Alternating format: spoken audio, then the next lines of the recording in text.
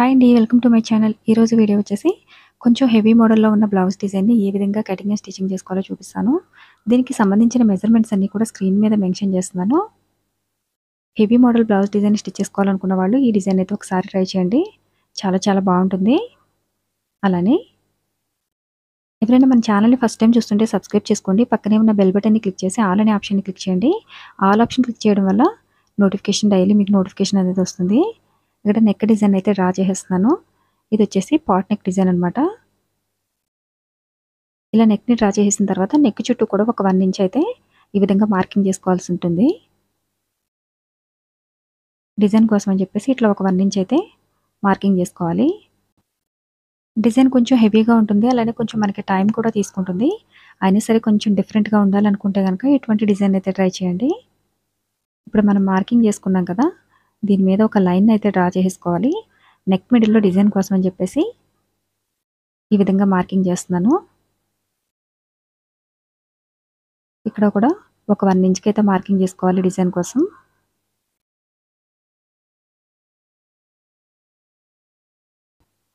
ఇలా మార్కింగ్ చేసిన తర్వాత నెక్ చుట్టూ ఎక్స్ట్రాగా ఉన్న క్యాన్వాస్ పేపర్ ఏదైతే ఉందో దీన్ని కటింగ్ చేసేసుకోవాల్సి ఉంటుంది. అలానే నెక్ దగ్గర ఒక వన్ ఇంచు ఈ విధంగా లీవ్ చేసి కటింగ్ చేయాలన్నమాట. ఇలా లీవ్ చేయడం వల్ల మనకి నెక్ కొంచెం గ్యాప్ రాకుండా అది సాగిపోకుండా ఉంటుంది. అందు గురించి ఒక వన్ ఇంచ్ అయితే ఆ విధంగా నేను కటింగ్ చేయకుండా ఉంచేస్తాను. ఇప్పుడు ఈ పీసెస్ అన్నింటినీ కూడా కటింగ్ చేసేసిన తర్వాత దీన్ని లైనింగ్ క్లాత్కి పేస్ట్ చేసేయాలి. లైనింగ్ క్లాత్కి షైనింగ్ ఉన్న వైపు ఐరన్ చేసేస్తే నీట్గా ఈ విధంగా పేస్ట్ అయిపోతుంది. నెక్ చుట్టూ కూడా చిన్నగా కటింగ్ చేసేసుకుని ఇప్పుడు నెక్ చుట్టూ కూడా క్లాత్ని ఫోల్డింగ్ చేసేసి స్టిచ్చెస్ వేసేసుకోవాలి.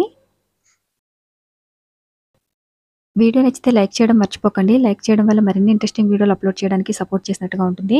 అలానే చాలామంది వాయిస్ ఓవర్ ఇమ్మని అడుగుతున్నారు కదా వాయిస్ ఓవర్ ఇవ్వడం వల్ల మనకి టైం కూడా డబల్ డబల్ టైం పడుతుంది. అందు గురించి అయినా సరే వీడియోని లైక్ చేయడం మర్చిపోకండి.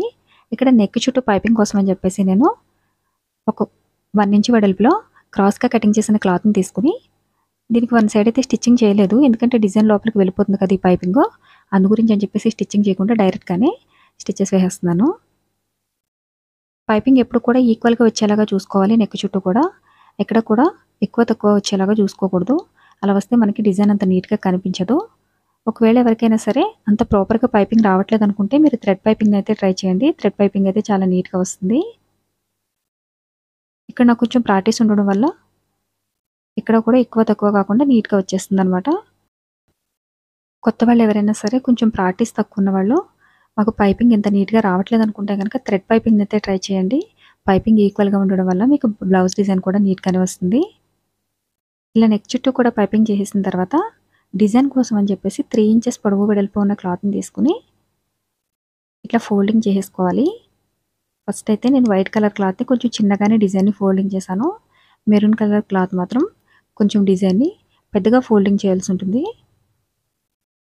ఇప్పుడు ఈ మెరూన్ పీస్లో వైట్ కలర్ దించేసి ఈ విధంగా స్టిచ్చింగ్ చేసుకోవాలన్నమాట. కంప్లీట్గా మనకి నెక్ చుట్టూ ఎన్ని పీసెస్ అయితే అవసరం అవుతాయి అన్ని పీసెస్ని కూడా స్టిచ్చింగ్ చేసి పెట్టుకోవాల్సి ఉంటుంది. డిజైన్ కొంచెం టైం పట్టినా సరే మనకి కొంచెం డిఫరెంట్గా ఉంటుంది అలానే హెవీగా ఉంటుంది. టైం కూడా మనకి అదే విధంగా పడుతుంది. క్లాత్ కూడా ఈ డిజైన్కి వచ్చేసి క్లాత్ కంపల్సరీగా వన్ అండ్ హాఫ్ మీటర్ అయితే అవసరం అవుతుంది అనమాట one metre white colour cloth అలానే హాఫ్ మీటర్ వచ్చేసి మెరూన్ కలర్ క్లాత్ ఇది టోటల్గా సిల్క్ క్లాత్ లానే ఉందండి. రా సిల్క్ అయితే కాదు. కొంచెం జార్జెట్ లాగా సిల్క్ టైప్లో ఉందన్నమాట. వైట్ కలర్ క్లాత్ వచ్చేసి రా సిల్క్ కన్నా కొంచెం డెలికేట్గా ఉంది క్లాత్. వీటిని ఏమైతే నాకు ఎగ్జాక్ట్గా తెలియదు కానీ క్లాత్ రెండు కూడా ఇంచుమించు సిల్క్ టైప్లోనే ఉన్నాయి. మనం ఈ విధంగా స్టిచ్ చేసి పెట్టుకున్న పీసెస్ అన్నింటినీ కూడా మరి గ్యాప్ లేకుండా స్క్రీన్లో చూపించిన విధంగా నెక్ చుట్టూ కూడా స్టిచ్చెస్ వేసేసుకోవాలి. చాలామంది కామెంట్ సెక్షన్లో ప్రతి క్లాత్కి నేమ్ మెన్షన్ చేయండి అని అడుగుతున్నారు. నాకు తెలిసినంత వరకు నేమ్ అయితే మెన్షన్ చేస్తాను.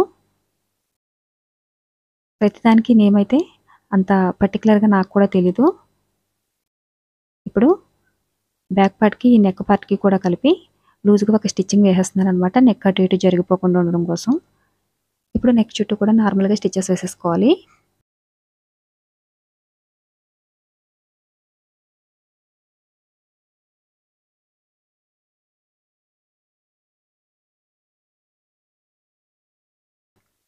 ఇలా నెక్ చుట్టూ స్టిచెస్ వేసేసుకున్న తర్వాత ఇప్పుడు నెక్ మిడిల్లో ఉన్న ఎక్స్ట్రా క్లాత్ ఏదైతే ఉందో దీన్ని కటింగ్ చేసేసుకోవాలన్నమాట. కటింగ్ చేసేసుకున్న తర్వాత క్లాత్ని ఇవతల వైపుకి ఫోల్డింగ్ చేసేసి కొంచెం జాగ్రత్తగా స్టిచ్చింగ్ చేసుకోవాల్సి ఉంటుంది. ఎందుకంటే మనకి కింద ఆల్రెడీ డిజైన్ని స్టిచ్చింగ్ చేసేసాం కదా. జాగ్రత్తగా స్టిచ్చింగ్ చేసుకోకపోతే కనుక ఆ నెక్ దగ్గర కొంచెం ముడతల టైప్లో వచ్చేస్తుంది. అలా రాకుండా కొంచెం నెమ్మదిగా స్టిచ్చింగ్ చేసుకోవాలి. ఇట్లా నెక్ చుట్టూ కూడా స్టిచ్చెస్ వేసేసుకున్న తర్వాత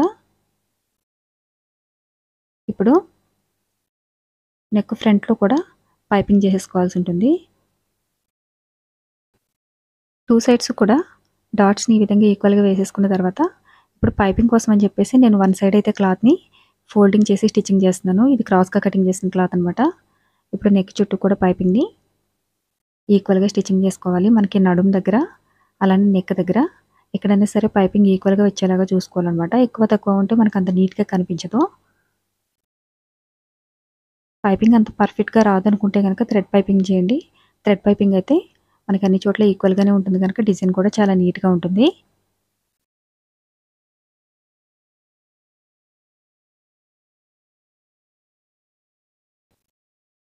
నెక్ దగ్గర అలానే నడుము దగ్గర కూడా పైపింగ్ వేసేసుకున్న తర్వాత ఇప్పుడు ఆల్రెడీ నెక్ మిడిల్లో డిజైన్ కోసం అని చెప్పేసి క్యాన్వాస్ పేపర్ని కటింగ్ చేసి పెట్టుకున్నాం కదా.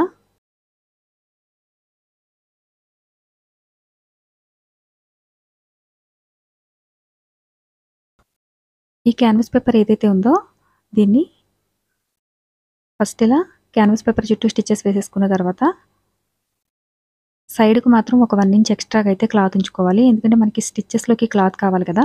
అందు గురించి అని చెప్పేసి సైడ్కి మాత్రం కొంచెం ఎక్స్ట్రాగా క్లాత్ నుంచేసాను నేను ఇక్కడ. ఇప్పుడు దీనికి మెయిన్ ఫ్యాబ్రిక్ని స్టిచ్చింగ్ చేసేసి టూ సైడ్స్ కూడా పైపింగ్ చేసుకోవాల్సి ఉంటుంది. ఫ్రంట్ సైడ్ అలానే బ్యాక్ సైడ్ టూ సైడ్స్ కూడా పైపింగ్ చేసుకోవాలన్నమాట.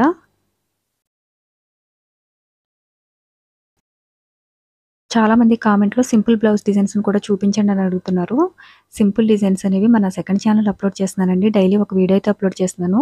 దానికి సంబంధించిన లింక్ కూడా నేను డిస్క్రిప్షన్లో ఇస్తాను. ఎవరికైనా ఇంట్రెస్ట్ ఉంటే కనుక మన సెకండ్ ఛానల్లోకి వెళ్ళి సింపుల్ డిజైన్స్ ఎవరైతే బిగినర్స్ ఉన్నారో వాళ్ళు ఈజీగా సింపుల్ డిజైన్స్ని స్టిచ్చింగ్ చేసుకోవడం కోసం ఆ ఛానల్ని ఫాలో చేస్తే కనుక మీకు డైలీ వన్ వీడియో అయితే కంపల్సరీగా అప్లోడ్ చేస్తున్నాను.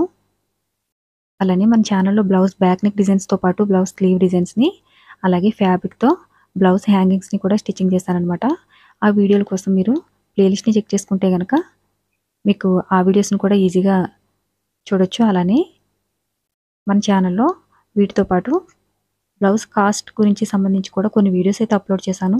ఎవరికైనా కాస్ట్కి సంబంధించి ఏమైనా డౌట్స్ ఉంటే కనుక వెళ్ళి ప్లేలిస్ట్లో చెక్ చేసుకోండి. వీడియోస్ అయితే క్లియర్గా ఉంటుంది. ఇక్కడ డిజైన్ కోసం అని చెప్పేసి క్యాన్వాస్ పేపర్ని ఈ విధంగా డిజైన్ మిడిల్లో మార్కింగ్ చేసేసుకుని డోరీ థ్రెడ్ని మనకి ఒక్కొక్క థ్రెడ్కి మిడిల్లో ఒక్కొక్క బీడ్స్ పట్టేలాగా ఇక్కడ నేనైతే మీడియం సైజ్ బీడ్స్ పట్టేలాగా తీసుకున్నాను అనమాట ఇలా మొత్తం డోరీ థ్రెడ్స్ అన్నీ కూడా ఒక్క బీడ్ పట్టేలాగా ప్లేస్ ఉంచేసుకొని స్టిచ్ చేసేసుకోవాలి.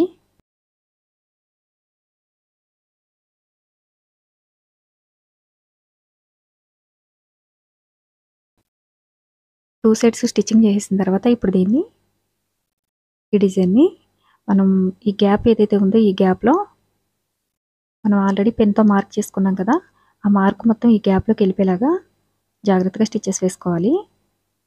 ఇలా స్టిచ్చింగ్ వేసేటప్పుడు నెక్ సాగిపోకుండా చూసి జాగ్రత్తగా స్టిచ్చింగ్ చేసుకోవాలన్నమాట. ఇప్పుడు దీని మిడిల్లో నేనైతే డోరీ థ్రెడ్ని ఈ విధంగా డోరీ థ్రెడ్ని తీసేసుకుని చివరి చిన్నగా హ్యాంగింగ్స్ లాగా స్టిచ్చింగ్ చేసేస్తున్నాను.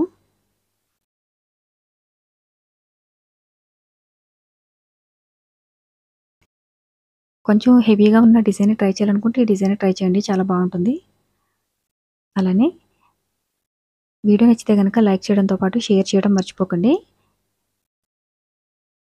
డిజైన్ మిడిల్లో నేను ఇక్కడ మీడియం సైజులో ఉన్న బీడ్స్ని అయితే స్టిచ్చింగ్ చేసేస్తున్నాను. మీరు కావాలనుకుంటే కనుక బీడ్స్ని స్టిచ్చింగ్ చేసుకోండి లేదంటే అలా లీవ్ చేసేసినా సరే మనకి నీట్గానే ఉంటుంది. నేనైతే మీడియం సైజులో ఉన్న బీడ్స్ని కరెక్ట్గా మనం ఉంచిన గ్యాప్లో సరిపోయేలాగా కనిపిస్తుంది కదా ఈ విధంగా స్టిచ్చింగ్ చేసేసుకోవాలి. చివరి మనం ఏవైతే డిజైన్ పీసెస్ని స్టిచ్చింగ్ చేసుకున్నామో వాటి మిడిల్లో కూడా నేను బీడ్స్ని స్టిచ్చింగ్ చేశాను. వీడియో నచ్చితే లైక్ చేయండి షేర్ చేయండి. Thanks for watching